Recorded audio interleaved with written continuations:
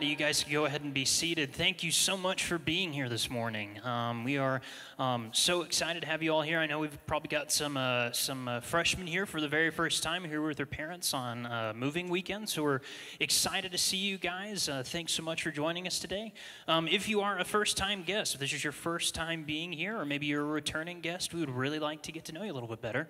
And one of the best ways we can do that is by you texting the word guest to the number 94090.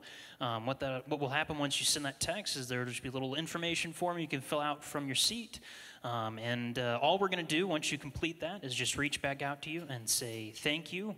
Um, and say hello. Um, we just uh, we just want to get to know your story a little bit better. Um, and then if you're interested in learning more about our church, you'd like to get plugged in here, we can certainly start that conversation.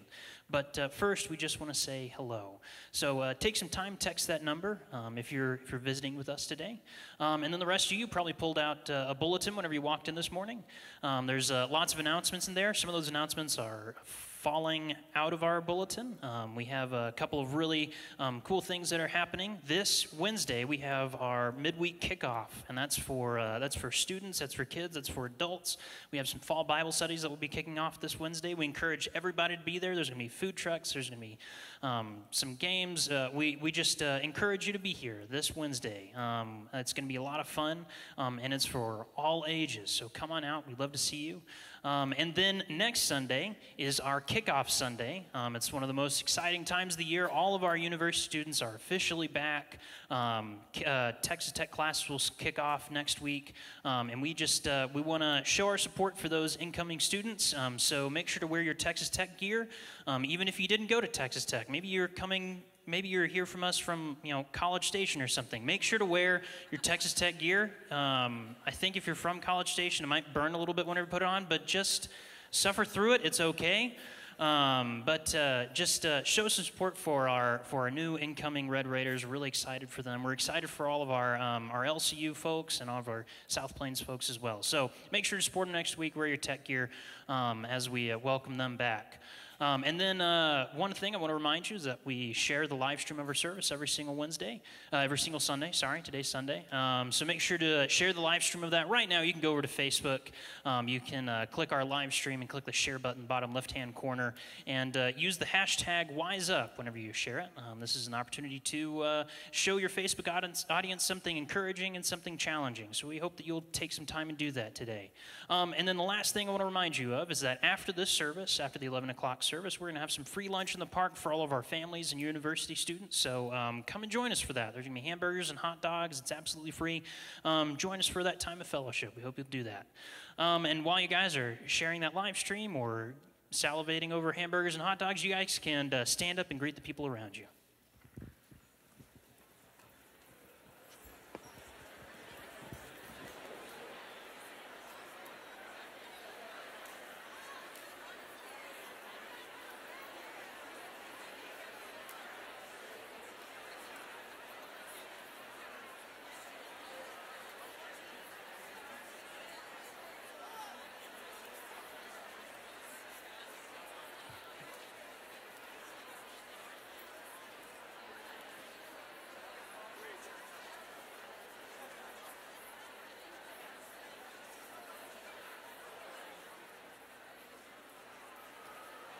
All right, if you will, head back to your seats. Go ahead and have a seat for just a moment. There's this guy in the, the Bible, his name's Moses, and he knew a great deal about holy ground. If you remember, God met him in a burning bush. He called it holy ground. God met him again at the banks of the Red Sea, and God did some great things. God met with Moses again on a mountain, and God inscribed the Ten Commandments for him did it twice. So Moses understood what it meant to be with God on holy ground. The interesting thing about that holy ground was that was about a place that God chose to meet. But since Jesus died on a cross and defeated death and the grave and rose triumphantly, we get to have holy ground anywhere Jesus is. And the good news is, Jesus is everywhere, all at the same time. So, everywhere your feet are is not just your mission field, it's also holy ground. This morning, we're going to sing a song in just a minute about that reality. But I'd like for us to bow and pray for just a moment. Dear Jesus, you are the great God that we worship this morning. And we pray that you will take the praises that we sing and offer to you and transform them into something that's pleasing to you, that makes you smile, makes you happy, joyful. God, would you make us more and more into the kind of people that you created us to be. We, we acknowledge that too often we seek our own way instead of yours. Please forgive us. Right now, Jesus, as best we know how, we surrender. We give all that we are to you our dreams, our hopes, our plans, our failures, our successes. Change us, Jesus. Let our hearts and our lives be the holy ground on which you have your way. Yes, Jesus, we acknowledge it's not by anything we've done or will do that we get to experience life with you. Our lives are gifts to us from you. And only by your death and that triumphant resurrection do we know real life. So without you, we have no breath, we have no hope. But with you, because of you, we are transformed. And today, some of us come with ecstatic joy because this week has been absolutely amazing. And we thank you because we recognize that every good thing comes from you.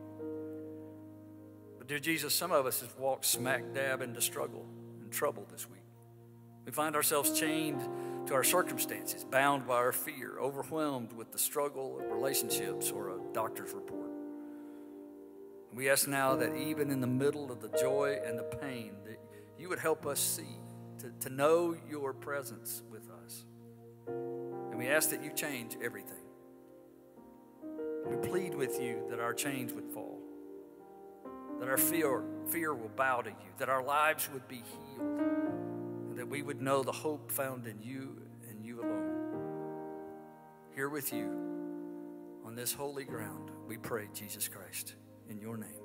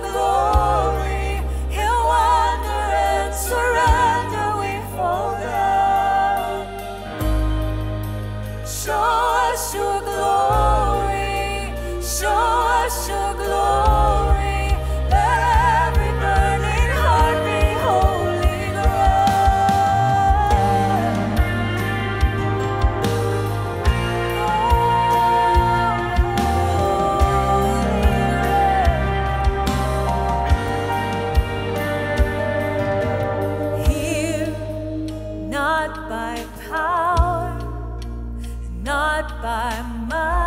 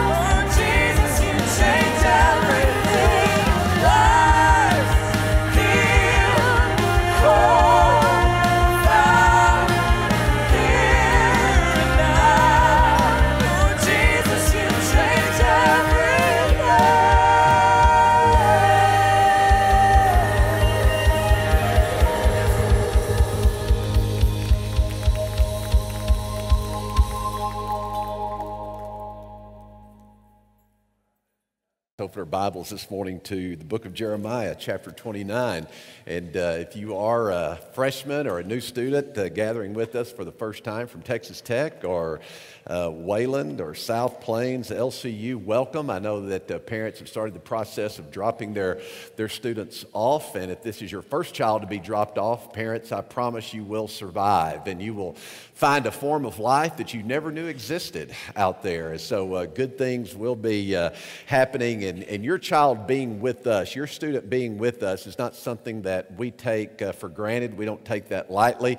We are committed as a church to pouring into the lives of students. We have a very strategic location from campus, just three blocks from the main entrance of Texas Tech. And so we take it uh, very seriously the opportunity to pour into your student's life.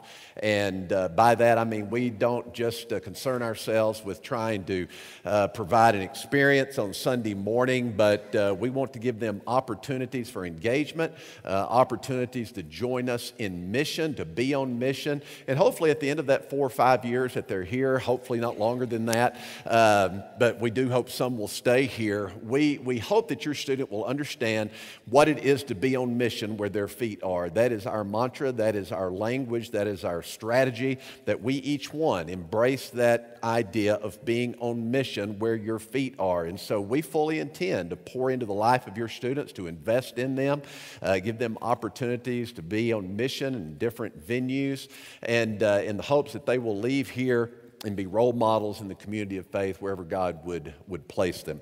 We've been uh, this summer going through a series We've been calling it a summer of wisdom, looking at that particular genre of biblical literature known as wisdom literature.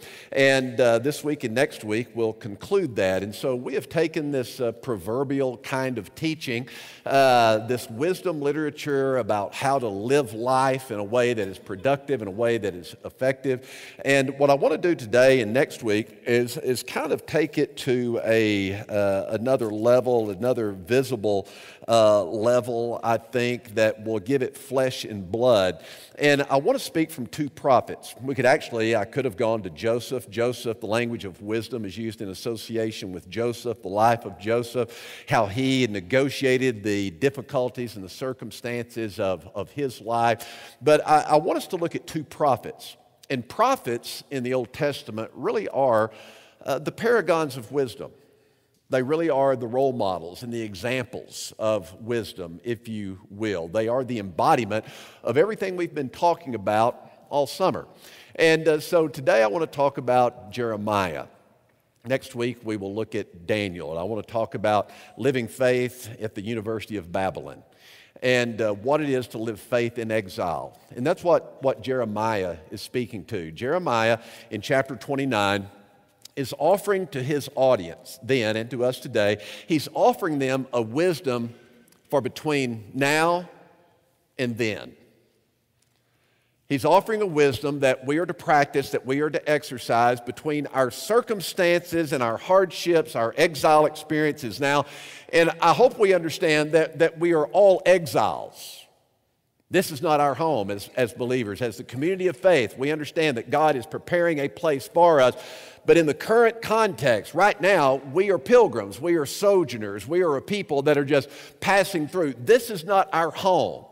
So, as we grow in, in faith, as we grow in maturity, there's a growing detachment from this world, a surrendering of the things of this world, as God is preparing us for the place that, that He has in store for us.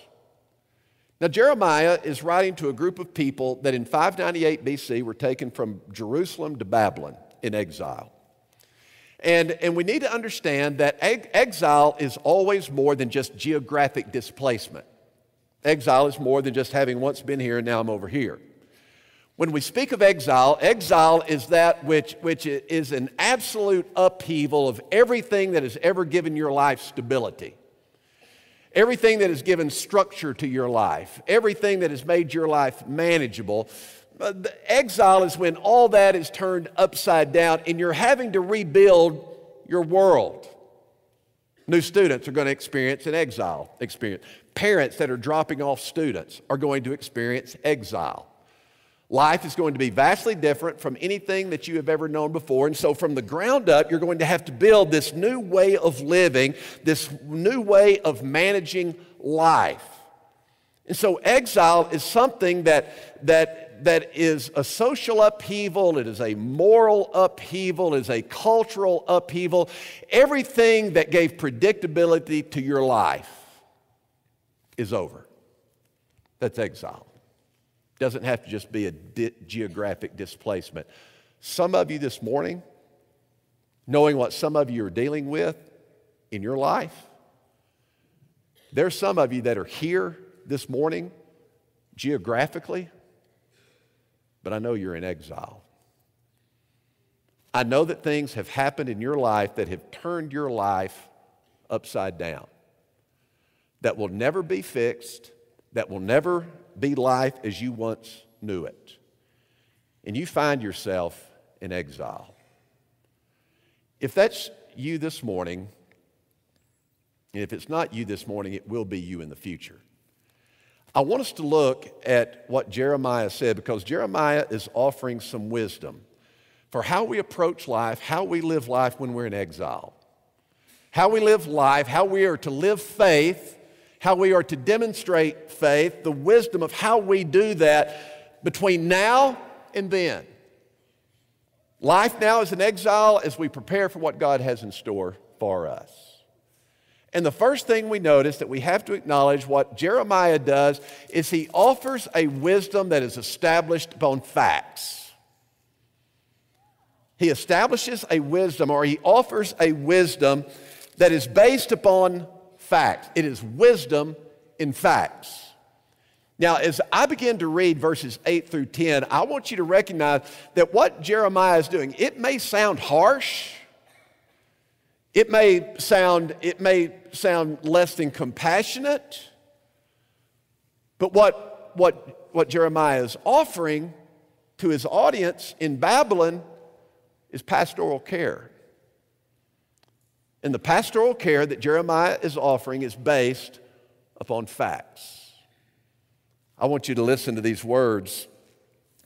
Jeremiah, in writing this letter, he says, beginning in verse 8, For thus says the Lord of hosts, the God of Israel Do not let your prophets who are in your midst and your diviners deceive you, and do not listen to the dreams which they dream.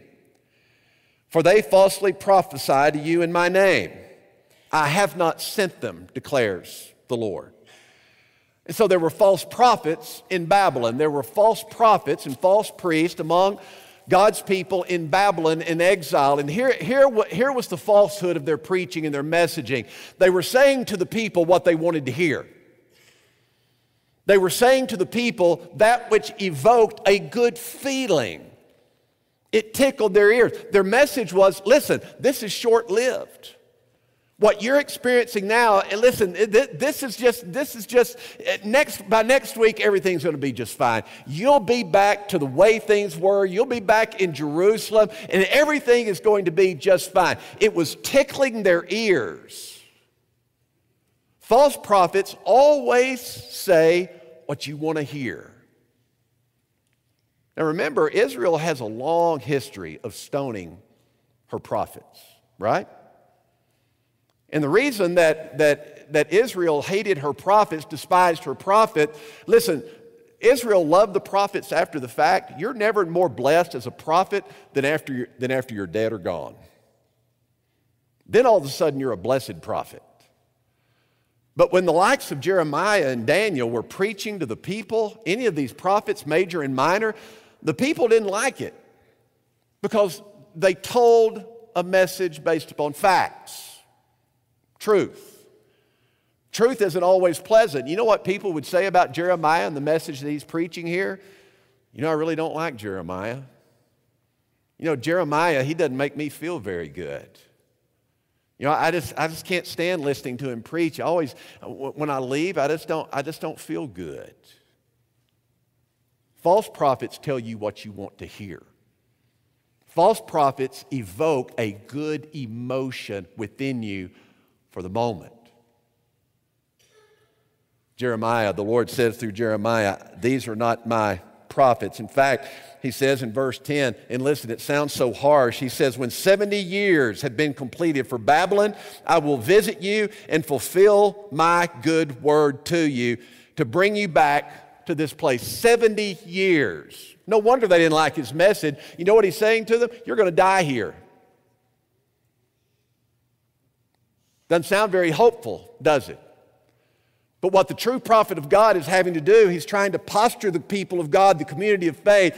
He's trying to give them a message that is based upon facts. Once you understand things, how things really are, he doesn't try to give them this false Pollyanna message that, listen, if you'll just have enough faith, if you'll just pray harder, everything's going to be fine. No, he's giving them a message based upon facts. Things are not going to be fixed. You're going to die here. These are the facts of your current condition. I'm really perplexed and puzzled sometimes by those that are shocked, especially in the community of faith, that so many are, are shocked by suffering. I mean, the symbol of our faith is, is a cross. And so I'm always a bit taken back when, when I encounter individuals who are troubled by hardship. Because it seems every generation has an awareness of, of the sufferings of life, the hardships of life, that things happen in life where, where, where the wheels just fall off. Someone dies, someone leaves, there's a diagnosis of a, of a disease. Everything is thrown into an exile experience. And then, and then we, we seem to have some that, that think themselves deserving of an explanation as to why. This seems to be the first generation that is offended by suffering, offended by, by trials and, and tribulation, as if they are somehow deserving of, of an explanation. You know, within the realm of theological study, there's a little nuanced area referred to as theodicy. Theodicy has been around for a long time. I see a lot more traction around that arena now. But it, theodicy is, is this area uh, that, that seeks to explain how, how you have suffering in this world, uh, the innocent suffering, and then you have this God that, that is all powerful, that is all knowing, that is all loving. And how, how do you reconcile these two together? That, that's, that effort is what's referred to as theodicy as if we're deserving of some explanation as to why we experience adversity in life. Because really, there, there is no adequate explanation. There is no explanation that, that brings comfort. There is no explanation of why that, that brings satisfaction to our curiosity. The reality is, is that in the brokenness of this world, there are things that are going to happen that cannot be fixed, that will not be fixed. And we can try to deny the pain, and we can try to, to pretend that we're really not hurting because sometimes we've been led into thinking, we've been wrongly led into thinking that as people of faith, we can't really pretend the pain is real. No, pain is real.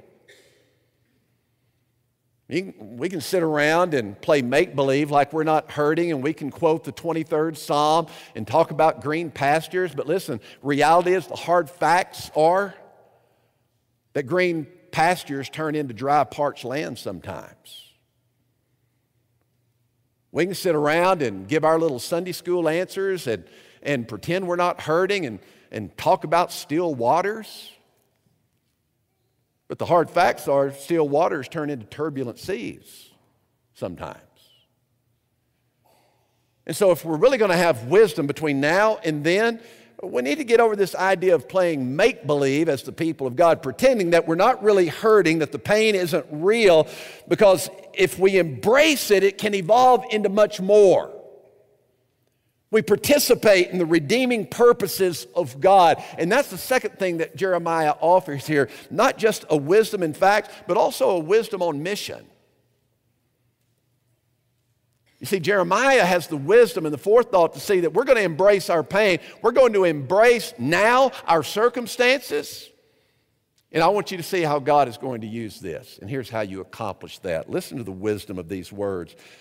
He says in verses 5 through 7 and notice the verbs. Just underscore, underscore, underline in your Bible the verbs that are used here. Those are action words. If you don't like writing in your Bible for whatever reason, you know, etch them into your mind. But look at the verbs here build houses. Here's the wisdom of Jeremiah in your circumstances, in your exile, when your life is turned upside down. Be active, build houses, live in them, plant gardens. Eat their produce, take wives, become the fathers of sons and daughters, and take wives for your sons, and give your daughters to husbands, that they may bear sons and daughters, and multiply there, and do not decrease. Seek the welfare of the city. Daniel's going to show us how to do that next week. But are you shocked by that? He says, You're a people in exile, but what I want you to do is I want you to pray and I want you to seek the welfare of the city where I've sent you into exile and pray to the Lord on its behalf, for in its welfare you will have welfare. In other words, what, what he's saying is embrace your place. Live. Don't, don't just survive, live.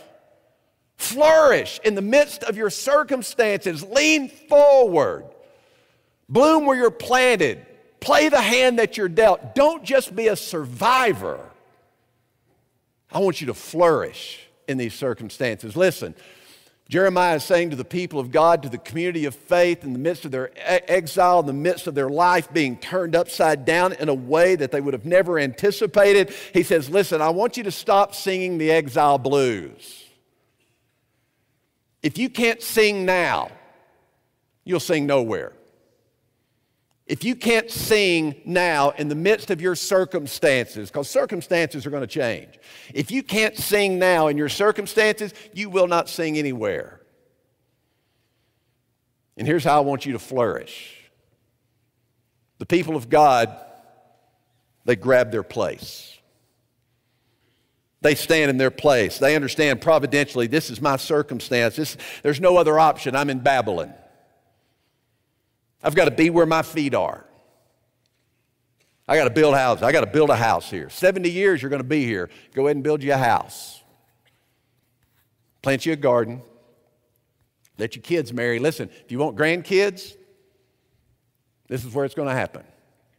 Don't wait to get back to Jerusalem. Don't wait until you have a better set of circumstances. If you want grandkids, you better let your kids go ahead and marry. You're here for the long haul.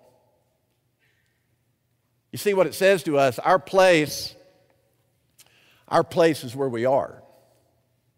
As the people of God, we don't think about where, where I might be, where I should be. We just think about where we are. That's what it is to be on mission. We've done a pretty good job, I think, as a church, at moving beyond this idea of missions being something that is done by someone else somewhere else. We understand as the community of faith, we're an offensive unit that's being trained and coached, inspired to go out into the world. That the mission field is where my feet are right now. We do a great job of that. That's our message. So he says, be a people of, of action. This is where your faith is played out. Your faith isn't real back in Jerusalem. Your faith isn't confirmed. Your salvation isn't confirmed, listen, church, in a baptistry. Your faith is proved out on a day by day basis. When you're living obediently, when you're living faithfully, that's just an act of initiation. That doesn't prove salvation up there. Don't hold on to some kind of false security. That doesn't prove salvation, that baptistry. Faith and salvation is proved out on a daily basis. Walking in obedience, building houses, being active, being where your feet are. That's where, that's where faith is proved out in the crucible of our pain and our suffering. That's where, that's where faith becomes influential. That's where faith becomes noticed by others. When the fruit of the Spirit in the midst of difficult circumstances is being born out of our lives. Listen, the world is not impressed that we're gathered here. I mean, any reprobate can walk through this door and sit in church on a Sunday morning. There is nothing uniquely special and distinctive about us having been here on Sunday morning. Anybody can walk in here. But what people don't expect is for faith to be alive and vibrant, fruit bearing out in the community. And so it says to us as a people of God, a people who understand the significance of place, that faith is not proved out in our sanctified sanctuaries or our sanitized classrooms. We are not a people called to sequester ourselves, to isolate ourselves. We are a people that are called to go forth. You cannot be salt sitting in the pantry. You cannot be a light under a bushel. And so we do not go out into this world in fear. We go out understanding that where we are is the place that God has providentially placed us. Jeremiah offers a final thing Another offering of wisdom is a wisdom of hope. Verses 11 through 14 are probably the most well known verses in this passage. But I'm, i want to tell you something unique about these words that, that can be easily missed with just a casual reading.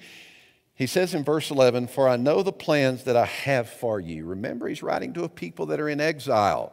That's his audience, exiled Jews in Babylon since 598. For I know the plans that I have for you, declares the Lord plans for welfare and not for calamity, to give you a future and a hope.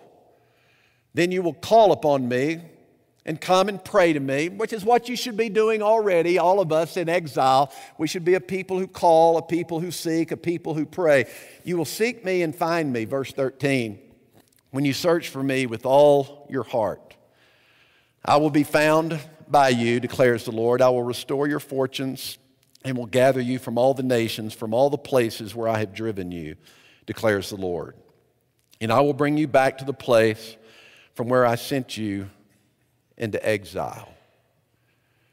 Now, don't miss this, church. This is a part of understanding the strategic purpose of the church, which is to go into all the world and make disciples. Jesus is writing to the Jews in exile in Babylon, not in Jerusalem. See, when the Jews of Jerusalem, when some of those were taken from Jerusalem and taken to Babylon in 598, there was a tension. There was a tension created between those Jews in Jerusalem and those Jews in Babylon. And those Jew, because the Jews in, in Jerusalem thought themselves a favored people of God. But what God is saying through his prophet Jeremiah, my hope is on your back. My future plans are upon you, those who are in exile, those that are living in challenging circumstances. What I desire to accomplish is being built on your backs, not those back in Jerusalem. You know why? Because those folks back, those good religious folks back in Jerusalem, they are self satisfied with their, with their sanctuary religion. They're self satisfied with the temple. And it serves as a warning to us that, that we have to be very careful about, about claiming a faith when all of a sudden uh, we allow faith to be skewed towards a sanctuary type religion. And by that, I mean a religion that is satisfied with having been here and you know you've crossed over into a sanctuary type religion instead of a vibrant faith and a personal relationship with Jesus Christ that understands I'm supposed to be on mission out in this, this world of exile. You know that you have become, that you've just become a person that has a sanctuary religion when all of a sudden your greatest concern about the church is not the fulfillment of its mission, but the maintenance of everything that goes on inside. Well, you know, that's not how we do things. Sanctuary religion. Well, I noticed the top of the cabinet didn't get wiped off very well here. Thank you, Mr. Sanctuary Religion. I noticed the toilet paper was coming underneath instead of rolling over the top. Thank you, Mr. Religion. You see, sanctuary religion is just concerned and satisfied with having gathered. God's hope is in people that are living in exile. This is where, this is where true faith is going to be exuded. This is, where, this is where true faith and true relationship with the living God is going to become evident. It's going to be seen in the lives of those who are struggling, not those that are satisfied playing church. God's future, even though your circumstances seem unbearable, even though your situation is seemingly overwhelming. Can't even imagine a future. The prophet comes to say to those exiles and those that are living with hardship, You're my, you're my future. The future I have in store and my plan for redemption is built upon your backs. Your circumstances do not trump and the circumstances of this world do not trump my providential purposes. The future, God says, that I have in store for you, it will not be threatened by what's happening to you right now. That's wisdom between now and then. Let's pray together.